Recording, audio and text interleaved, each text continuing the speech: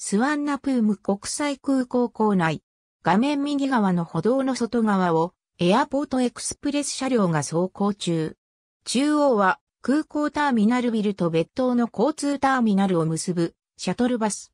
エアポートエクスプレスは太陽国の首都バンコクと近郊にあるスワンナプーム国際空港との間で運行されていた空港連絡バスである。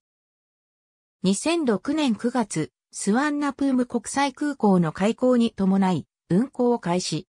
同空港にはエアポートレールリンクの開通まで軌道系の接続交通機関がなく、タクシーや一般路線バスとともに、バンコク中心部との間の旅客輸送を担っていた。最盛期には4系統が高速道路経由で運行されていた。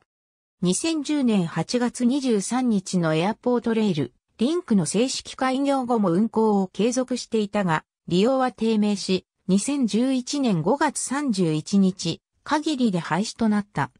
ABC 大国政府観光庁、公式サイト掲載、空港連絡バス、エアポートエクスプレスが廃止されました。ABC トラベルストーリー16バンコク秋文社2008年 P189 地球の歩き方 D18 バンコク2010年の2011年版ダイヤモンドビッグ社2010年 P42 掲載写真ありがとうございます。